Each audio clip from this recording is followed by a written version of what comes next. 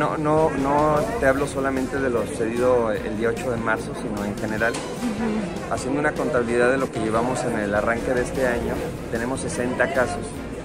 60 casos que hasta el momento se han registrado en todo el estado. No traigo ahorita el pormenorizado, pero nosotros podemos compartir. De donde dentro de estos 60 están eh, las partes agresoras no necesariamente es maestras, maestros o autoridades. En ocasiones las partes agresoras son los mismos estudiantes, que es el caso que comentas, que están dentro de tiempos habituales, que la mayoría de ellos están como procesos, como expedientes abiertos.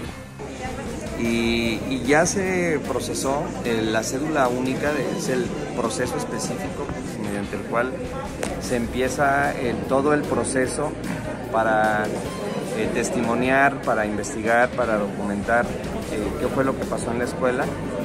En ambos casos, tanto en el Cebetis como en la secundaria 1, se empezó ya el proceso.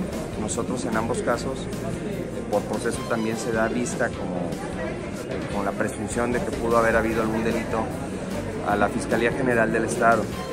¿Qué seguirá? Pues que se, seguirá se seguirá corriendo el proceso. En este momento está en el en esta etapa de documentación de testigos, de involucrados y se habrá finalmente de dictaminar cuáles son los hechos para que esto funcione de manera eh, más proactiva. las personas involucradas se retiran del puesto mientras que la investigación transcurre y seguramente en los siguientes días podríamos estar informando este, en qué termina cada uno de estos casos.